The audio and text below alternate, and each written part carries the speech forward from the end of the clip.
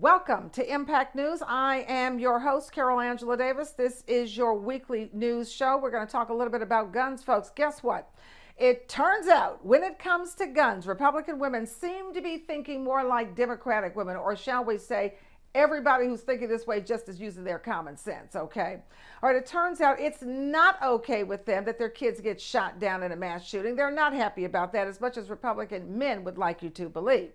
A new poll out shows that Republican women not only support certain kinds of gun restrictions more than Republican men, they also mostly agree with Democratic women and independents on what those restrictions should be. This is not rocket science, it's just common sense. We're trying to keep our kids alive, okay?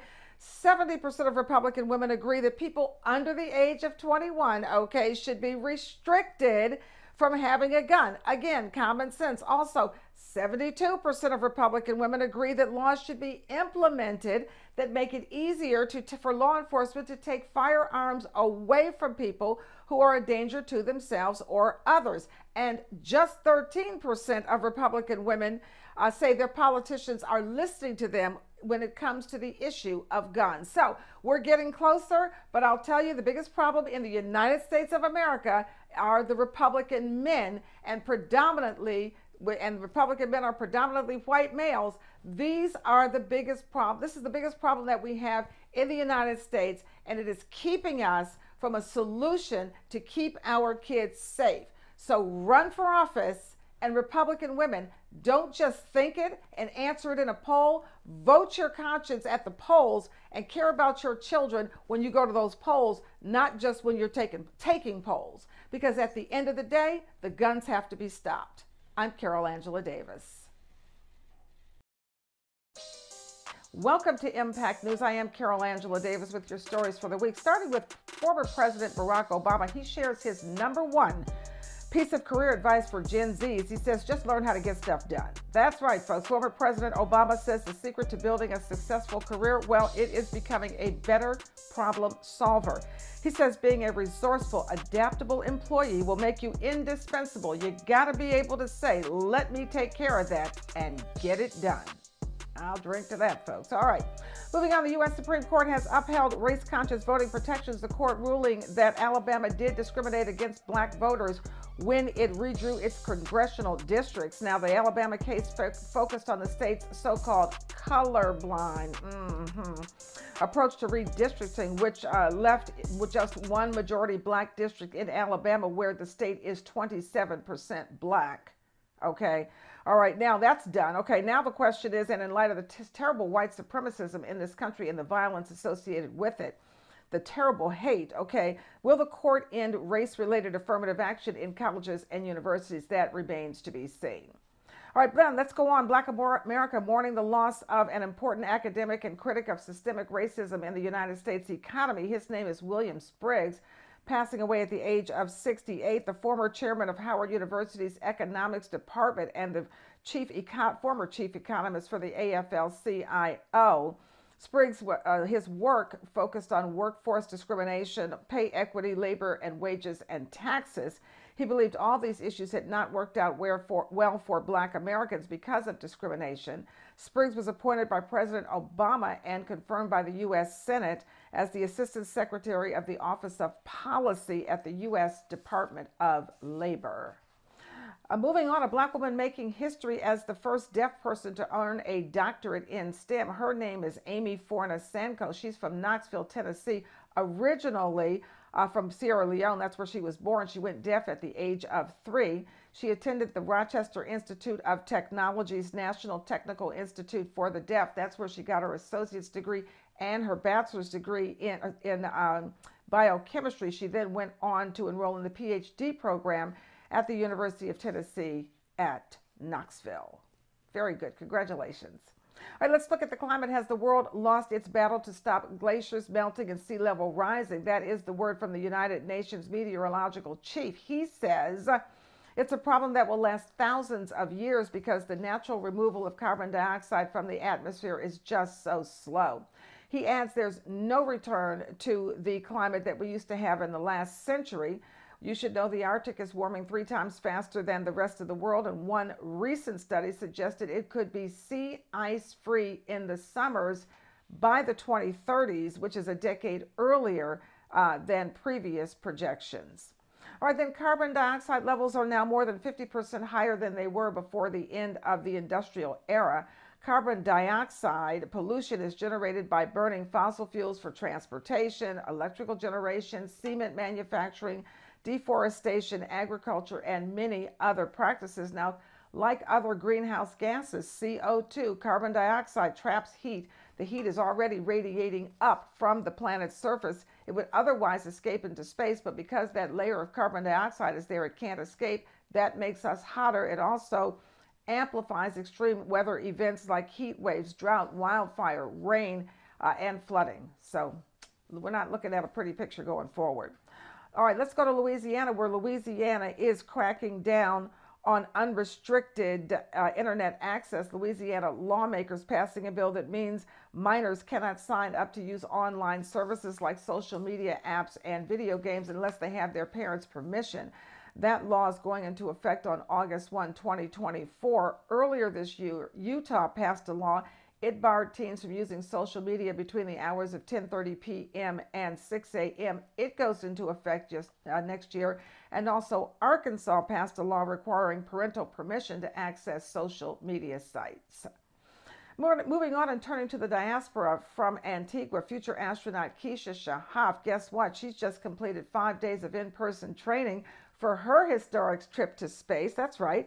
In 2021, the former flight attendant won two tickets uh, for a commercial trip to space. They were worth a million dollars US. The whole thing sponsored by Virgin Galactic, and she gave her second ticket to her 18 year old daughter, folks.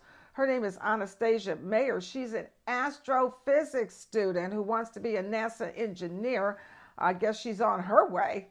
All right, and finally today, turning to Africa, where a 2018 report by the United Nations Food and Agriculture Organization, it says reliance on charcoal and firewood is highest in Africa and Asia. Apparently, some African cities are almost entirely dependent on charcoal for cooking. That is a huge problem for greenhouse gas emissions. In Uganda, which is an East African country of 45 million people, folks, charcoal is preferred in households. And that's because it's not only cheap, but it's ideal for slow cooking uh, and with certain dishes that require slow cooking. Even middle class families in Uganda do have two stoves a gas cooker and a charcoal stove. Now, Uganda's president has banned the commercial production of charcoal and is trying to make Uganda lose its appetite for charcoal. Well, we all have to wait, but let's hope he's successful for all of our sake. And of course, in the United States, we must always make sure we do our part because we cause a lot of the drama. Those are your stories. Stay with me.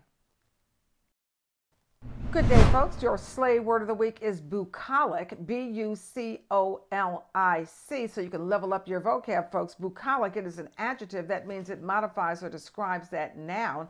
Now, its origin is in the Greek in the early 16th century. The definition of bucolic is relating to the pleasant aspects of the countryside and country life. So let's use it in a sentence. Her bucolic life on the farm was a far cry from the fast paced life she led in the city. All right, sentence number two. Do you think Donald Trump's life from this day forward be, will be one of his bucolic country clubs and countryside settings or somewhere a little more proletarian, like jail? That's right, folks. Bucolic. That is your slave word of the week. Use it to level up your vocab. As you know, it means relating to the pleasant aspects of the countryside and country life. I'm Carol Angela Davis. Slay it. I'm just sick and tired of us not spending time together lately. No, baby. No, I'm sorry I've been spending time with you. I've been working on this big deal. It's gonna bring a lot more money to the household for What you doing here, boss? Yeah, just checking to see if you still got it. You take this work. Your partner. I don't want it back. I've seen the movies, man. I know how this goes. You see the movies, huh? Did you see Goodfellas? New Jack City? Everything I do is for you. Like, I just need a little bit more time, man. Find bullshit shit. He, like I said, he's gonna okay, call any second. Okay, don't you take a look at this video? Guess what? It's starring you.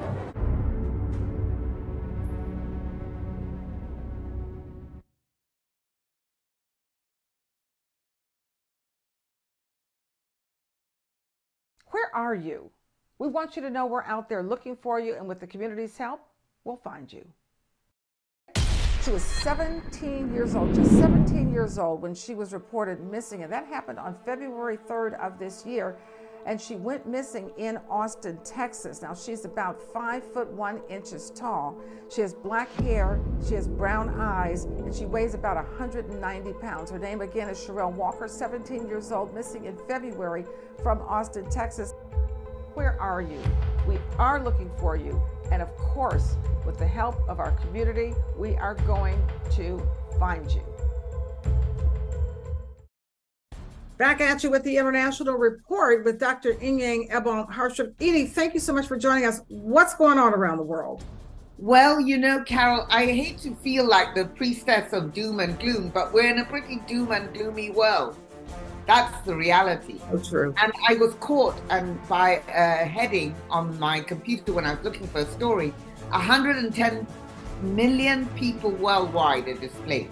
Mm. That has gone up. It used to be 40 million 20 years ago, and that it stayed pretty consistent. But since 2011 and the conflict in Syria, the refugees and internally displaced people, the number has increased year upon year. Wow, that's a lot of people. With that, what do you when you say displaced? What do you mean? Just like no home? They don't have a home. It's like the you know recently you had all that crisis in Sudan. Well, they're part of the 110 million now for the eight-week conflict that's been going on there, and they had to run. And the, the, the refugees come from three countries: Syria, Afghanistan, and the Ukraine. So there's 110 million people from just those three countries? Countries, yes. And you can add in Sudan. Mm-hmm. And what's interesting, it's the same old violence, persecution, discrimination, climate change. Hmm. Those are the reasons, the package of reasons as to why people are fleeing. And then what this is all coming out of a report by um, uh, UNHCR. And one of the things they're saying, of course, is that the countries from the Eastern Bloc, for example, in the European Union, Poland and Hungary, refuse to take in anyone from mainly Muslim, Middle East, and North African countries. What? And while the right wing and populist parties across the European Union have fueled the debate with anti immigration rhetoric. In other words, a lot of the northern countries, UK, France, the United States, etc., are not interested in touching or taking these refugees. What are they going to do when their turn comes? That's what I'd like to know because everybody's going to be a climate refugee to some extent. I mean, for example, um, in Britain the other day, they've just pushed through new legislation that would prevent anyone who arrives in a small boat from across the English Channel from claiming asylum in mm. an hmm. echo of Australia's controversial offshore migration policy. So they're all doing it. Yeah, this whole right wing movement is all across the country. We have to stop it here because um, I, it's all I, about I, white men controlling everything. And sorry, but you can't control everything.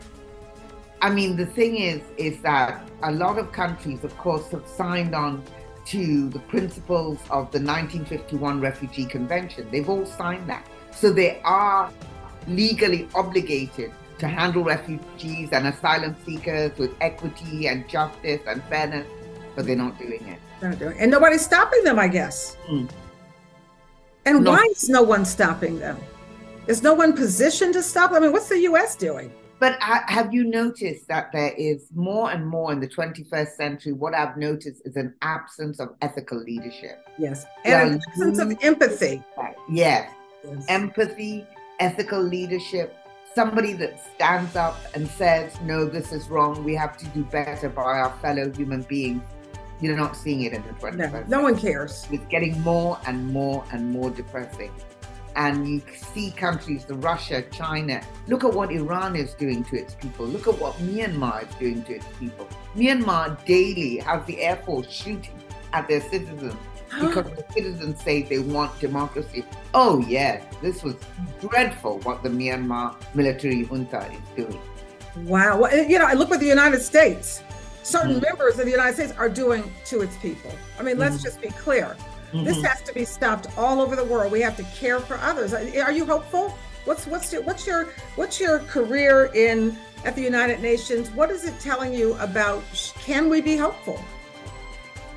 I don't know, Carol. I mean, I look and I see it's down to leadership, and the leadership we have is really, really poor. It's either pulled into a dictatorship, Erdogan, Putin, you know, the, the Ayatollahs in Iran, either this very draconian kind of behavior, or you have, you know, people that want to do the right thing, like Joe Biden, but don't come across as terribly effective. You know what I mean?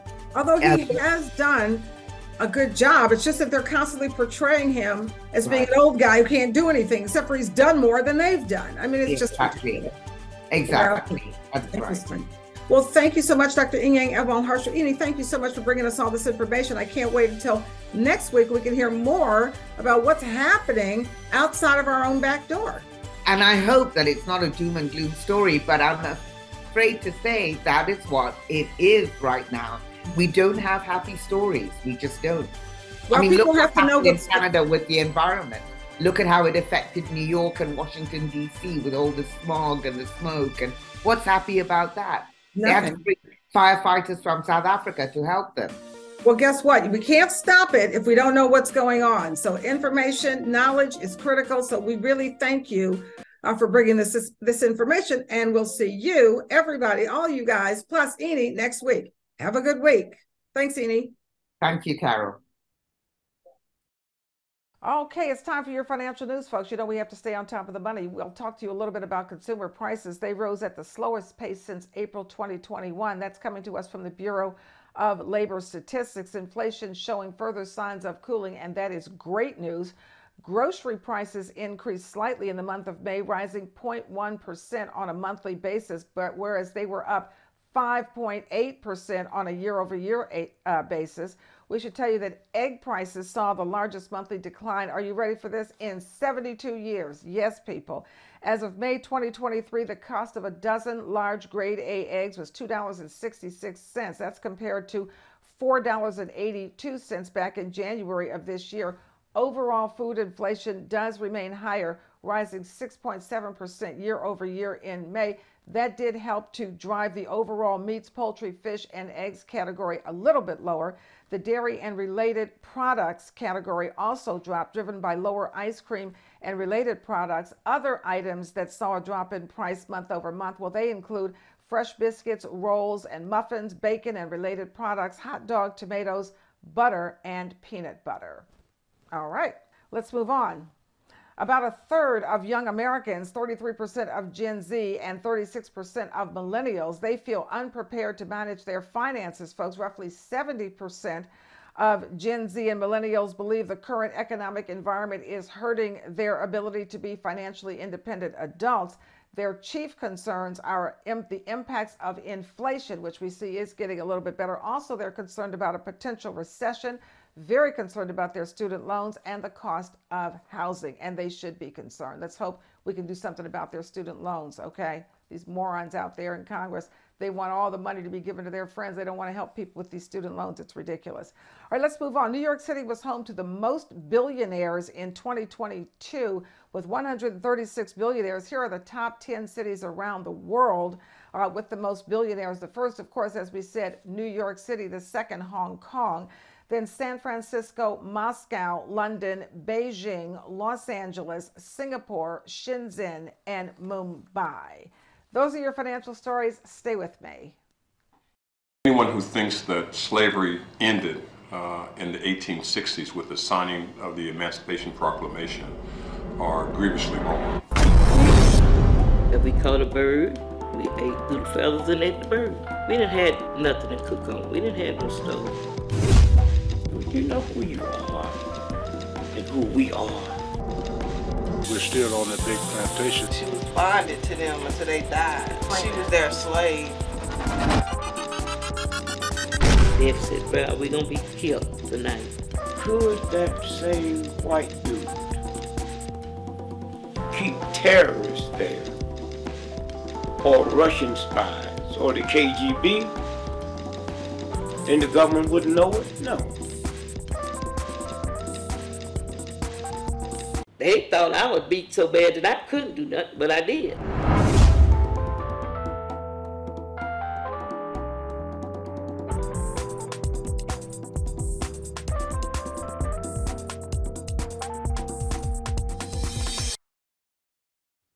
Back at you for the close of the show with Dr. K, talking about your health. Welcome, Dr. K.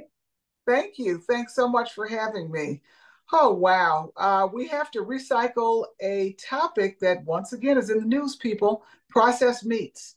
Now, they are really sounding the alarm. Mm. The initial fire alarm came from the World Health Organization saying that processed meats were a class A carcinogen. Mm. Okay. And we talked about it maybe a month or so ago.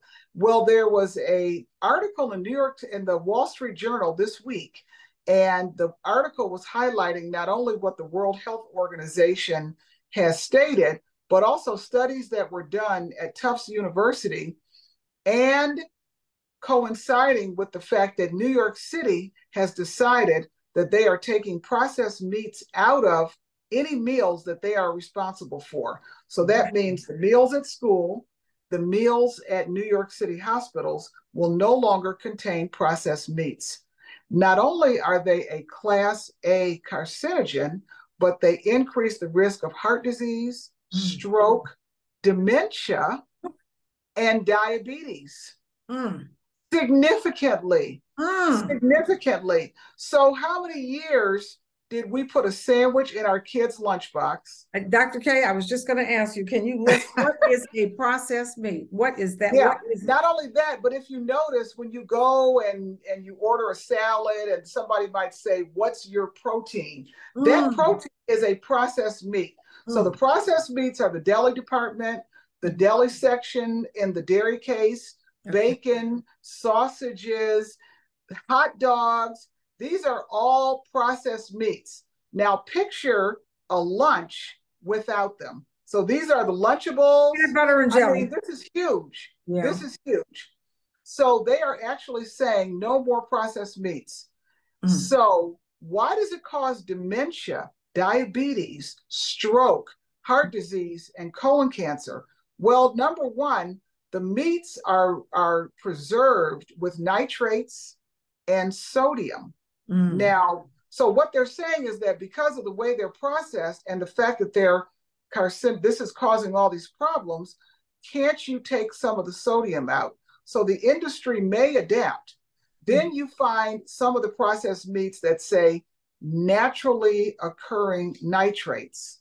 Mm-hmm. This is celery powder. However, no nitrates at all. The celery powder is not the solution. So when you see naturally occurring nitrates, you're still not operating in the safe zone and making food your medicine. You're mm-hmm. making food your disease causer. So mm-hmm. this is why it's incredibly important to stay out of the deli section, yes. the meat section, the deli meat section of the packaged meats. And I mean, the city of New York taking these things out of any meals that they serious. are responsible for. Yeah, that's yes. super serious. That is super serious. Data, deli meat, bacon, um, sausages, Sausage, hot dogs. that we would links, think. Say that again. Links, hot links. links. I mean, Memorial Day is coming. Right. Mm-hmm. Wow, folks, you heard it. You heard it right here. Get that process yeah. out of your diet because you know they aren't doing anything to try to keep you alive. They're just no. try to line their pockets with gold. So you yeah, not not not only that, but a very interesting statistic, which is post COVID, the consumption of processed meats has actually risen. Mm. Believe that's it or not. Scary. Yeah, that's scary. Thank you so much, Dr. K. Thank you for tuning in. I'm Carol Angela Davis. Thanks, Dr. K. Thank you so much for having me. Absolutely. And all of us here at uh, Impact News, we'll see you next week. Have yourself a great week.